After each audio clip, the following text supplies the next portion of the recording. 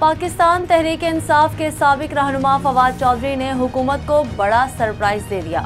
तफसीत के मुताबिक पाकिस्तान तहरीक इंसाफ के सबक रहनुमा फवाद चौधरी ने ट्विटर पर जारी अपने एक पैगाम में कहा है कि आज वो मीडिया तंजीमें और मालिका नज़र नहीं आ रहे, जो पाकिस्तान मीडिया डेवलपमेंट अथॉरिटी के खिलाफ दिन रात एक किए हुए थे।